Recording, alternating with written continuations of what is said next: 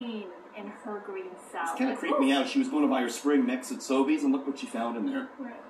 It's a frog. Oh my goodness. A live frog, Erica, blending in there. Look at that little guy. Mm-hmm.